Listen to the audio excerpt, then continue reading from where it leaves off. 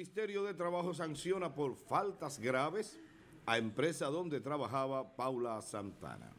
El Ministerio de Trabajo informó que sancionó a la empresa Oscar Caribe LLC, Interger Holding, por faltas graves y muy graves en seguridad y salud en el trabajo.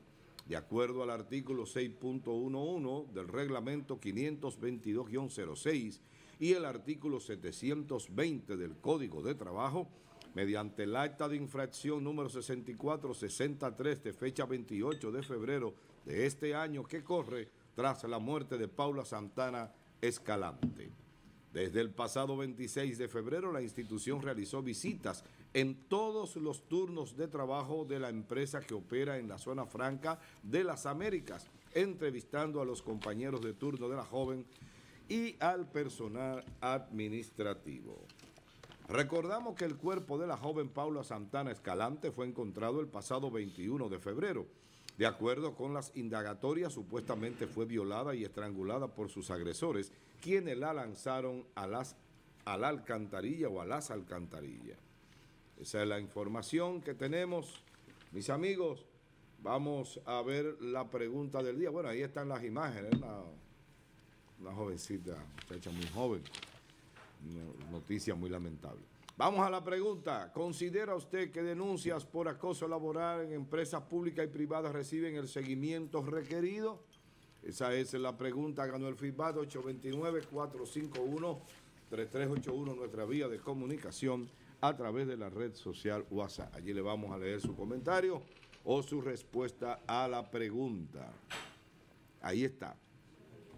Bien, y continuamos con el programa. Saludamos a Carolina Medina, que está con nosotros hoy, vestida de verde fosforescente. Buenos días, equipo. buenos, días, Carolina. Buenos días, amado José Rosa. Buenos días, Yerjan. Y buenos días a toda la gente que está con nosotros. Bien. Muy bien, continuamos entonces. Adelante, Carolina Medina, precisamente. Sí. Desgarradora podría ser una palabra adecuada para esta tragedia una tragedia que nos apena muchísimo ver cómo se va la vida o cómo se pierde la vida de una joven que trabajaba para pagar sus estudios, una familia de escasos recursos, una joven con aspiraciones, de hecho tenía pautado qué quería hacer en la vida, quería ser azafata. Lo triste y lamentable de esto es que son hechos que no siempre llegan a ese mal final o a ese triste, difícil y lamentable final es que, si bien es cierto que no en todos los casos se llega ahí, muchos sabemos lo que pasa en algunas zonas francas del país. El nivel de control que se supone que debe de haber y de supervisión en las instituciones cuando hay denuncias, cuando se sabe o se entiende que hay aspectos que no son los adecuados en el entorno o en el área de trabajo. Se tiene la información de que esta joven había estado denunciando un acoso según la madre de la niña, de la, de la joven, 23 años.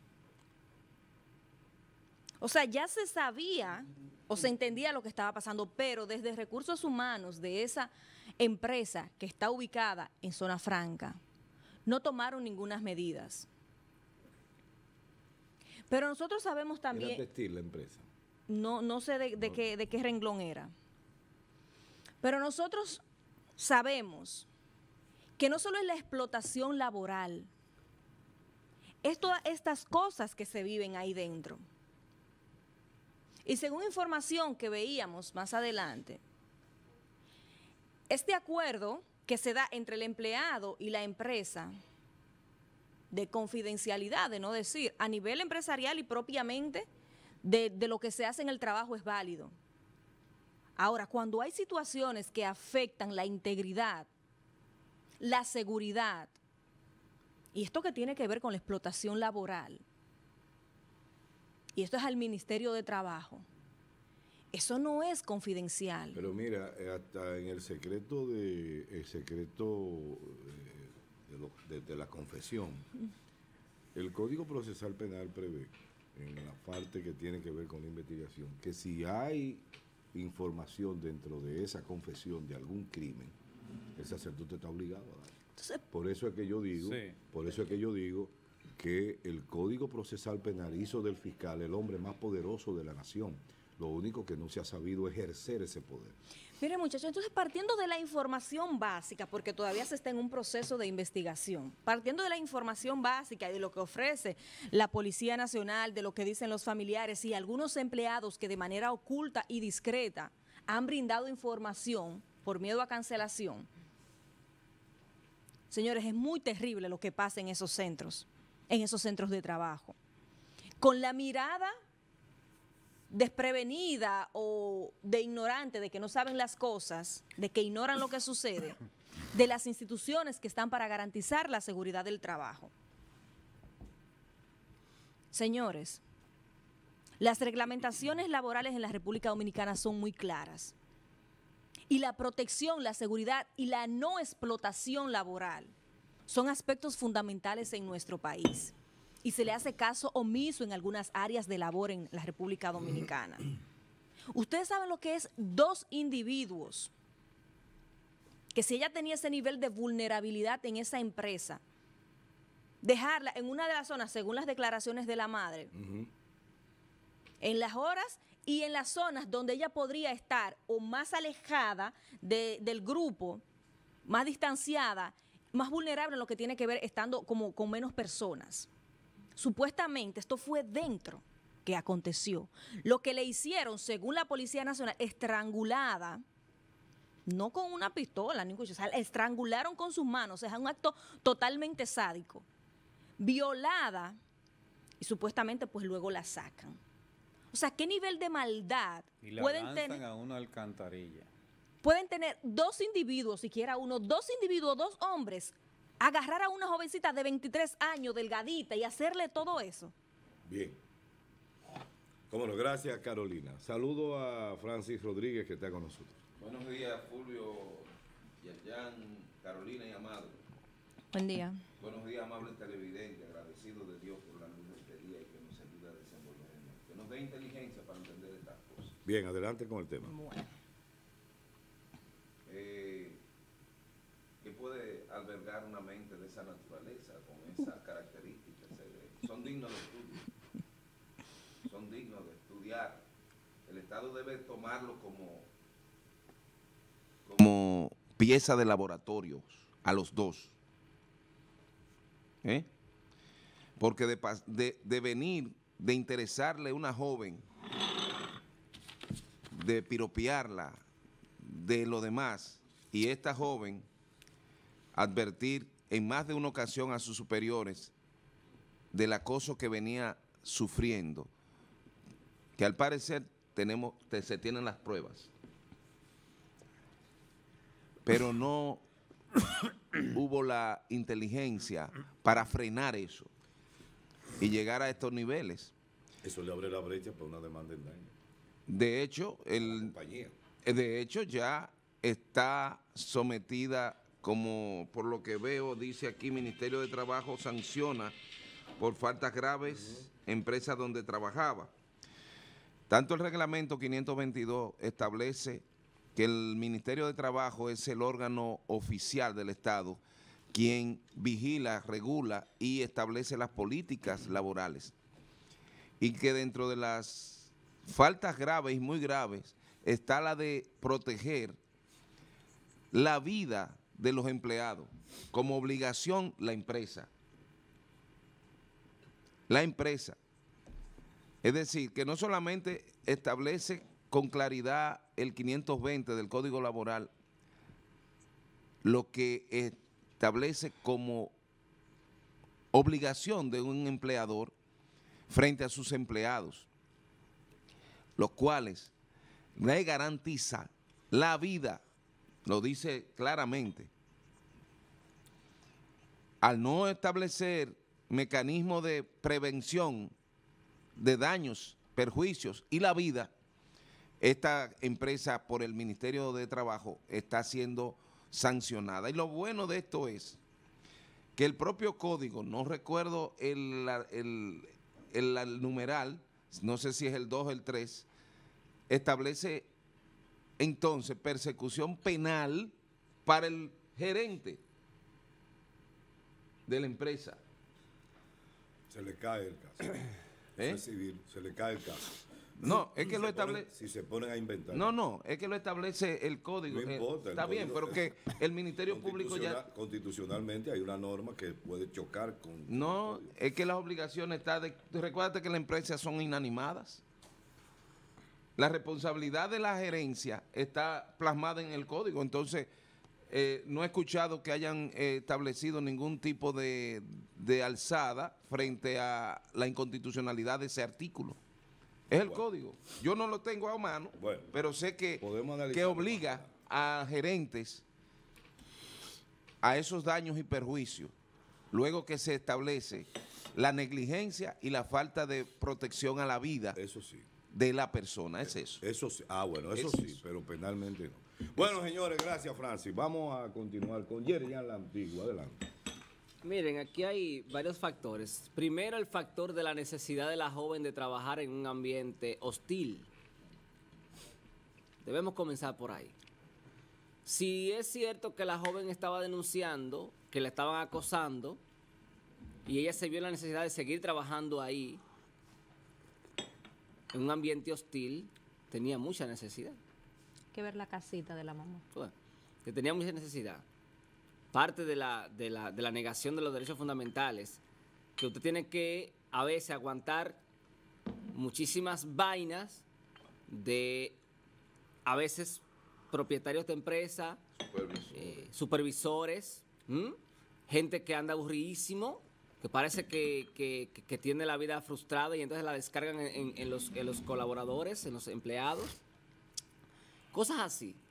Y entonces... Hasta profesores con estudiantes. Profesores, sí, profesores que a veces van y descargan toda su rabia y toda su frustración con los estudiantes. Y quieren, muchos profesores también quieren obligar a los estudiantes, especialmente a las hembras, a que, a que, a que le concedan favores sexuales para ellos poder pasar la materia, porque si no le trancan el juego. Son de las cosas que suceden en la República Dominicana y por eso es que en, en mi caso yo siempre he hablado del funcionalismo de la función que debe desempeñar cada quien en la función que está. Pero además de eso, de que el Estado debe ser omnisciente, como Dios, que según dicen, lo ve todo y lo escucha todo. Así debe ser el Estado. El Estado tiene que verlo todo, tiene que saberlo todo. Y cosas así no pasan, porque también hay una carga aquí que debió pasársela a, la familia. Si la mamá sabía que su hija estaba poniendo una denuncia en la propia empresa, también debió poner esa información en manos de la fiscalía. Mire, mi hija está siendo acosada por un individuo en, su empresa. Porque ciertamente la empresa tiene unos niveles de responsabilidad, pero también la víctima no puede ayudar al victimario y en este caso lo ayudaron. Me van a excusar la familia, lo ayudaron. No denunciándolo a la autoridad. Le, le facilita. por eso existe la disciplina que se llama victimología, que estudia cuál fue el comportamiento de la víctima en el proceso del hecho que ocurrió en su propia contra. Y entonces aquí, esa víctima, además de que estaba en posición de, de vulnerabilidad, también facilitó el proceso, no denunciándolo. Porque si le pone una denuncia lo citan de una vez. La fiscalía no juega con eso. De una vez lo citan y lo ponen en alerta. Qué obsesión, ¿eh? Incluso le hacen una advertencia a la empresa y, una, y una, orden de protección y todo eso. Y ahora la pena fuera más alta. Entonces, todo eso tenemos que valorarlo. Pero también, poniéndome ahora del otro lado, para ser objetivo, los imputados que ya son culpables para la sociedad. Escuchaba a Carolina ahorita decir, eh, ellos dos como un hecho afirmativo y quizá corregirle que quizá no sean ellos dos. Pudieran ser otros dos o pudiera ser uno o pudiera ser ninguno de los dos. No, y se habla uno de los abogados que dice que de los de los dos imputados que según esos abogados, posiblemente se esté encubriendo a alguien de mucho más nivel o de más poder dentro de la empresa. Entonces, entonces, fíjense ustedes cómo ya la sociedad dice son ellos dos. Porque la policía y el Ministerio Público de manera irresponsable presentan a esta gente cuando la ley se lo prohíbe. Hay uno, ¿Mm? hay uno que La ley se que lo fue quien prohíbe. lo encontró. Fue quien Si encontró. uno de ellos supuestamente fue que encontró el cuerpo Entonces, y si ese también se lo llevaron, Sí, yo no sé si participó porque suele pasar que el que comete el hecho es el primero que aparece buscando. Suele pasar. No estoy diciendo que es el caso. ¿Mm? Pero, pero presentar a una buscando. persona en un hecho tan grave como este de manera pública no es correcto. La ley lo prohíbe. Y usted dirá, ¿tú estás defendiendo a los supuestos delincuentes? No, yo estoy defendiendo la ley. Y la ley prohíbe que a una persona se le presente en esta fase del proceso, se le presente de manera pública. Esos muchachos lo pueden matar ahorita en, en- en la cárcel. Y resolvieron el caso. Y entonces resolvieron el caso y resulta que después eran inocentes. Ahí sí es grave. Y tenemos muchísimos casos aquí en San Francisco que lo podemos demostrar de gente que lo presentaron en un medio de comunicación, como es el caso de la joven Karina, del cercado, que la acusaron de violar, una- de, de supuestamente agresión sexual de una menor, como de cuatro años. Y para todo el pueblo, ella era una agresora sexual. Va- Vayan a buscar la sentencia, que nadie la busca, la sentencia. Descargada. Inocente. ¿Por qué? Porque lamentablemente ese es el sistema que hemos ido reproduciendo, un sistema de venganza. Que yo creo este que ella es inocente, ¿eh? por todas las características. Bueno, Muy bien, gracias. Ojalá y. Yerjan Fulvio, adelante. bueno, miren, los familiares de la joven fallecida, ultimada, dicen que ellos también están confundidos, que quieren que se aclare el caso. Y los familiares de los jóvenes apresados dicen que esos muchachos, esos jóvenes son inocentes, que busquen más para arriba. Es el segundo intento que hace la fiscalía para lograr iniciar el proceso. Hay familias que tienen miedo de ir a la fiscalía. No, y que con un nivel de educación. Hay familias con niveles de educación pedir, o sea, no también un poquito limitado. limita- limitación. Y hay también que le tienen temor a estarse involucrando en esas cosas. Y esta era una muchachita, jovencita, estudiante, que prácticamente se estaba eh, eh, abriendo su vida sola, trabajando duras horas. Son de esas muestras Y- de esfuerzo muy Sí, valiosas. sí. Y en esos lugares, señores, Muy en, esos- valioso. en esos lugares que la mayoría, la mayoría son grandes cantidades de, de mujeres que trabajan en zona franca. Ah, eh, ahí se puede ver de todo. fábrica puede haber mil personas. Se puede ver de todo. Yo, yo invito a, a la DNCD, al DICRIN, a todos esos organismos que hay, que como hacen revisiones en la cárcel, también lo hagan en la zona franca, a, a ver qué encuentran. Ahí se encuentra. A ver qué encuentran. Es verdad. Que la hagan. Y también invito al Ministerio de Trabajo a mantener una oficina permanente en cada lugar de eso, que no cuesta gran cosa. Para estar apiñado en un ministerio allá arriba, es mejor que hayan representantes. No, hombre, Eh, se, se, escúchame, Fulvio, se corrompen. Desde que entran en el entorno, pero, la pero- empresa lo corrompe. Pero que haya, que haya al- alguna, esto por detrás, alguna mira. rotación de personal, Mira, porque señores, Mira, señores, Mira, ahí se dan muchos una abusos. interesante, Fulvio, la acabas tú de hacer. Cuando salen- la habíamos- Sí. Cuando salen casos, cuando salen casos, hay que ver la gran cantidad de casos que hay soterrados, Sí. que hay abajo, dándose ahí, Amado. con este sadismo, con esta maldad que existe, sobre todo hacia las áreas más vulnerables, en este caso a la mujer que anda trabajando.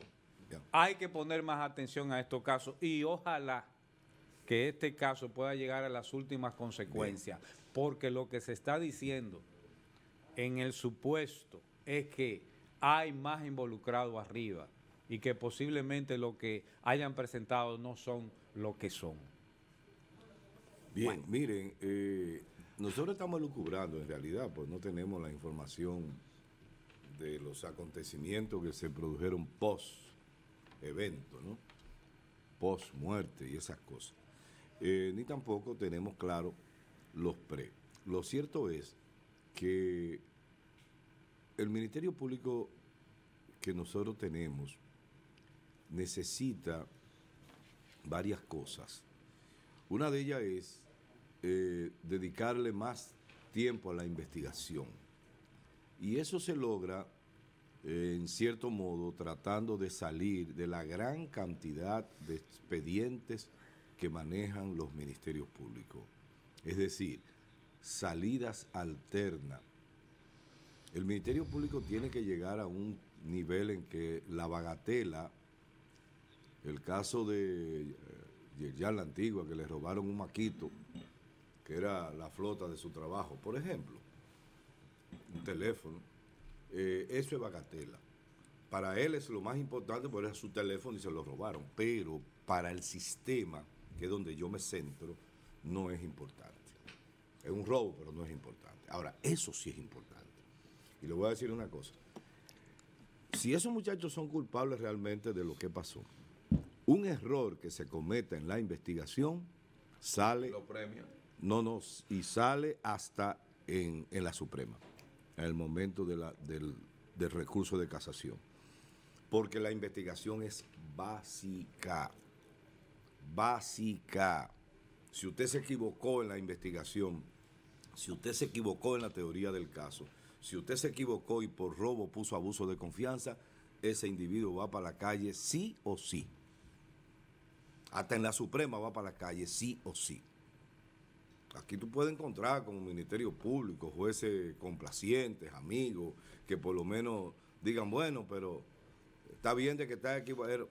Vamos a condenarlo, aunque sea a la pena mínima. Pero allá arriba sale. Y llegará un momento que yo pienso que eso tiene que llegar en algún momento para ver si el Ministerio Público se ajusta un poco y se asusta un poco en ese sentido.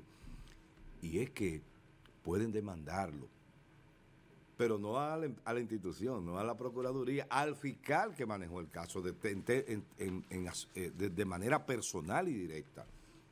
Cuando eso pase, entonces comenzarán a ser más conscientes de que tienen una obligación cierta, clara, y entonces proceder a ser más cautelosos. Un día se fuese en Aba, dice un amigo. Sí, esos son casos Hay que hacerlo. Esos son casos perfectos, extraordinarios para la criminología clínica. La criminología, clínica es una, es una, una visión criminológica que trabaja el, el- el caso a caso, como si fuera un enfermo. Usted llega a una clínica por emergencia, lo internan por una dolencia de salud y el médico o el equipo de médicos que está con usted pues lo va, va a manejar el caso suyo, no el- en términos generales, sino específico. Y eso es lo que plantea la criminología clínica. Y lo que lo dicen los criminólogos eh, abanderados de esa teoría es que el- lo, que hay, lo, que se, lo que se logra o lo que se intenta lograr con la criminología clínica es determinar el momento del paso al acto para evitarlo. Es decir, este caso está en una situación en la cual se va a producir el hecho y como se va a producir hay que evitar que se produzca. Es una criminología preventiva, preventiva, pero también es una criminología reactiva cuando ya el caso se ha dado, pero ya eso ayuda más a la investigación que a otra cosa. Ahora, eh, ¿qué es lo que, qué es lo que debe o, cómo debe manejarse este asunto desde el punto de vista eh, de la autoridad? Ser cauteloso para evitar que la sanción llegue a donde debe llegar y en la magnitud que debe llegar. Porque la verdad que uno ve eh, muchas cosas. Yo, yo, yo le digo la verdad, tenemos 20 años con este código. Ahora lo cumple, en septiembre de este año cumple 20 años de estar, de estar en ejecución. Óyeme, y no hemos aprendido, no hemos aprendido ni la condición que tiene el Ministerio Público de director funcional de la investigación. No hemos aprendido eso. No hemos aprendido a que cuando se abre una investigación debe llevarse un libro. Yo le preguntaría a mis amigos fiscales, ¿tienen libro de aquí en la fiscalía para aperturar un caso? Suponíamos que el Ministerio Público, ya sea por condición de información que le llega de orden público, se convierte en investigador. Pero aquí los denunciantes tienen que llevarle pruebas al Ministerio Público. Sí. Sí. Eso es lo más grave que tú puedes encontrar, que se supone que era el logro del propio Y usted tiene código. prueba, le preguntan a gente que ni siquiera y sabe no lo que se es una mueven. prueba. Oye, Y- yo veo gente que está dígale al vecino que la varada. cámara. Mira, Sí. Gente varada ahí en el Palacio de Justicia. No, que vine porque ya yo le traje la prueba. Y eres tú que tienes que traer la prueba, dice el código que es el Ministerio Público que tiene que salir a recolectarla. Pero no solamente eso, la prueba, la Señores. prueba tiene que llegar, la, la prueba, con el perdón Fulvio, la prueba tiene que llegar al tribunal incólume, es decir, mediante la prueba se obtiene, se recoge eh, mediante un me- custodia. mediante un mecanismo establecido en la ley, que si se rompe, la prueba no sirve aunque sea cierta. Una pregunta. Señor. Por- Bueno, luego que Fulvio haga el Señores, comentario. es que tenemos limitaciones enormes. Por ejemplo, en los organismos de investigación que tienen que ser soporte, ¿Tú te refieres materiales o intelectuales? intelectuales y materiales, Ok. intele- ambas cosas, Ok. que tienen que ser soporte de la administración de la justicia, apenas tiene capacidad para 3 millones de habitantes. Ya tú puedes ver. Eh, hablar de 10 millones de habitantes. Yo pienso, yo pienso que niveles. nosotros tenemos que sacudirnos de Miriam Germán pronto, porque... Es que no es el así- tema. No, no, no, sí, claro que Eh, sí, ella, claro que sí. ella por sí sola. No, no, no, no, no es eso. Es, es el conjunto. No, no, total, no es eso. doctor. no es Problema de sistema. No, no, no, no, no es Total. eso. No, no es eso. Mira, mira. Aquí tiene que haber organismos de Tenemos que sacudirnos de ella. ¿Sabe por qué? Porque A ella es una figura única y exclusivamente Es- para el Ministerio Vamos, Público. vamos a usarla como, como Ella no, ha hecho, ella no ha hecho su trabajo. Fíjalo ella no ha visitado en cuatro años una sola fiscalía. Pero, doctor, Ustedes han visto, todo- ustedes han visto cómo se levantan las escenas del crimen aquí. Yo no sé cómo es que logran probar los casos. Todo, Y óigame. quizá hay gente que dice que uno es romántico, pero es que a uno lo enseñaron a cómo se levanta una escena del Yerjan, crimen. Y tú los policías tomando la cosa con la mano normal, La de gente fuego. caminándole en el frente. Pero no le dan los guantes. el sistema No, de tampoco, investigación tiene que estar ahí de gemelo de la justicia, al servicio de la justicia. Es que esa es la idea. tiene que tener un departamento con capacidad.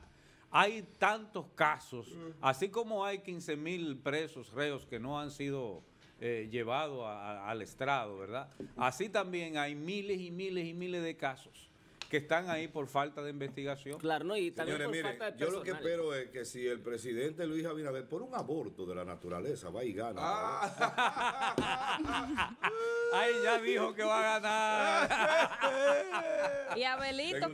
Amado, y, a- y Ay, Abelito oye. entonces se va solo para pedir más, más Exacto. rápido. Miren, miren, si eh, el presidente de la República ya de manera seria eh, obtiene la reelección, que tiene, está metido en la línea de adentro, eh, yo pienso que sus amigos, abogados, gente del sistema, debieran de aconsejarlo bien en quién elegir, porque se necesita un procurador diligente, capaz, capaz de dirigir el Ministerio Público, que no lo está haciendo. No, bien, la gente hermano. quería popular. Y que hemos perdido cuatro años, señores. El. Ministerio Público ha retrocedido cuatro años con Miriam Germán. Bueno. Y ha sido la peor procuradora que hemos tenido en los últimos tiempos. Lamentablemente, una gran mujer, una persona con un historial, 50 años de vida en los tribunales como juez, pero fracasó en esto. Y Lamentablemente. el tiempo lo va Señores, a decir. Ahora, ahora no se entender. ahora no se ve. Ahora a mí me.